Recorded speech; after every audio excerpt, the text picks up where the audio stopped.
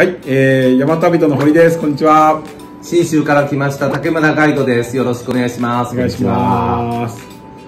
この前回、はいえー山の道具の話の質問をお答えしていただいたんですけど、はい今回は、えっ、と、ちょっと山に慣れてる方でも結構言われるのが、あの、靴ってどんなん買ったらいいのかなとか言われて、結構ざっくりしてるんで、答えにくいなと思うんですけど、今日の話はどういうふうに答えられます、えっとね、靴もね、やっぱり岩場に行くんだとか、ドロドロのところに行くとか、いろんなところに行くので、なんとも言えないんですけれど、肝心なのは痛くないこと。うん。それから足全体をこう、きれいに包んでくれるっていうこと。うんこれがね、大事だと思います。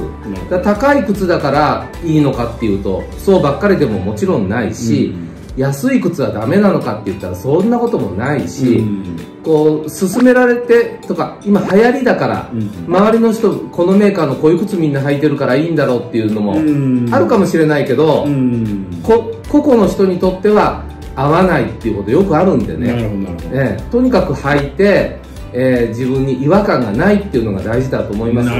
で妥協したらダメだと思います、うん。うん。で妥協してここちょっとここ当たる気がするんだけどまあ履いてりゃなれるかなっていうのは大概あとあとやっぱりやめときゃよかったってなってね。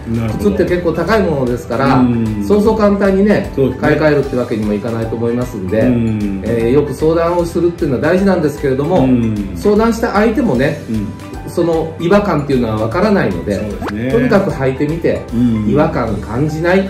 靴がまずは一番だと思います。なるほどなるほど。はい。僕らなんか結構あのヘビーユーザーじゃないですか、うんうん。でなると僕が結構やるのが、ええ。あの数ヶ月履いてめっちゃいいなってなった時に大体これ次欲しい時ってもううんうんモデル変わっちゃうじゃないですか、だから結構ねもういいなって23ヶ月履いていいなと思ったらそうですね。買っちゃうんですよ。